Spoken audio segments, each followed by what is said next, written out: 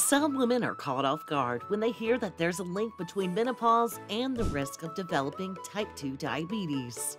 But hold up, let's not jump to conclusions or panic. This doesn't mean entering menopause is a sure ticket to type 2.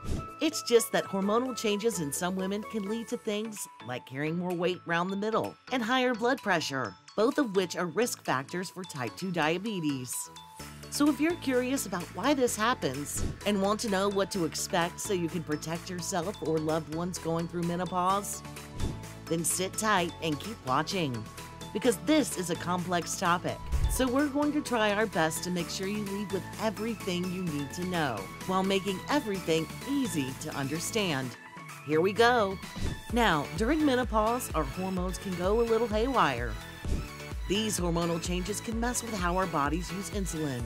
That's the hormone that helps regulate blood sugar levels. Insulin helps drive down your blood sugar by allowing your body's cells to take it in and use it as fuel. However, insulin tends to become less effective due to these hormonal changes.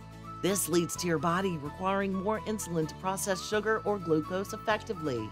This is known as insulin resistance. And insulin resistance is essentially the early stages of type 2 diabetes. The insulin is working, but it's not working as well as it should. If it gets worse, the situation transforms into type 2 diabetes. Over time, the high blood sugar can cause damage to many of your organs. Possible long term effects include damage to large and small blood vessels, potentially resulting in serious conditions like heart attacks, strokes, and complications related to the kidneys, eyes, gums, feet, and nerves. So, what about women who already have diabetes before menopause? Well, diabetes can actually usher you into menopause ahead of schedule. Studies reveal that women with diabetes often encounter menopausal transition earlier. But this premature shift to the next stage of life isn't just about saying goodbye to your menstrual cycle sooner. It also speeds up changes in your body that can exacerbate insulin resistance and complicate diabetes even further. Menopause symptoms may also amplify with diabetes. Number one is hot flashes. Yes, research confirms that women with diabetes experience more frequent and severe hot flashes. High blood sugar levels can cause blood vessels to dilate rapidly, an underlying cause of those hot flashes and night sweats that keep you up at night. Number 2. Weight gain. As estrogen levels decline during menopause, fat distribution in the body changes, often leading to increased belly fat. This weight gain can be particularly concerning for women with diabetes, as it can contribute to insulin resistance and make blood sugar management more challenging, leading to even more weight gain. Number 3. Mood swings. The combination of diabetes and menopause can create a perfect storm for mood swings. During menopause, hormonal fluctuations can wreak havoc on your emotions, causing mood swings and changes to your overall mood. This is due to the decrease in estrogen and progesterone levels, which can impact neurotransmitters that regulate your mood. Diabetes itself can have an impact on mood due to fluctuating blood sugar levels, which can lead to irritability, fatigue, and emotional instability. When menopause enters the picture, hormonal changes further contribute to mood swings. Number 4. Osteoporosis.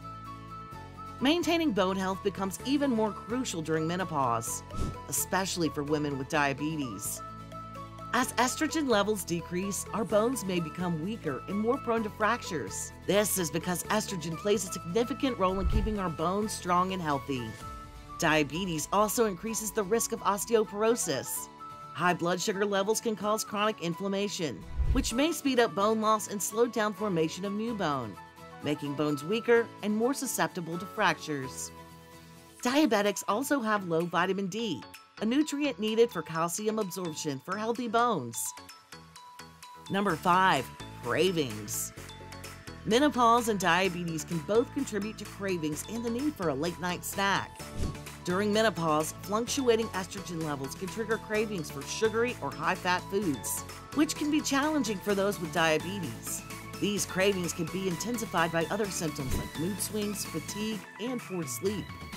Diabetes itself can also worsen cravings. Fluctuations in blood sugar levels can trigger feelings of hunger and cravings for quick sources of energy, such as sugary snacks. Additionally, certain diabetes medications can increase appetite and contribute to cravings. Number 6. Increased risk of health issues. During menopause, women who also have diabetes might have some extra health challenges. One biggie is the increased risk of developing cardiovascular disease, like heart disease and stroke. It's all due to the hormonal changes and fluctuations in blood sugar levels, as well as excessive weight gain that women experience. It's important for women to be aware of these potential health concerns and take steps to manage their diabetes and prioritize their overall well being. So let's dive into some tips for managing menopause and diabetes together starting with maintaining stable blood sugar levels. Managing stable blood sugar levels is when you're dealing with both menopause and diabetes. Firstly, regularly monitoring your blood sugar levels to track glucose levels and prevent high and low blood sugar episodes. Next, be sure to adopt a balanced diet by focusing on nutrient rich foods that have a low glycemic index that won't cause your blood sugars to shoot up. If you have diabetes, choosing nutrient rich snacks high can help promote fullness without causing your blood sugar to rise too high. This doesn't mean you can't have tasty food though.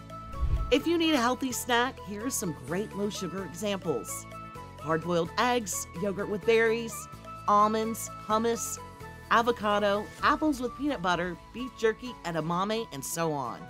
In fact, if you use insulin or other diabetes medications, it may actually be necessary to have a snack before going to bed. That's because low blood sugar levels can occur during the night, causing you to stay awake, so a snack helps keep the munchies away.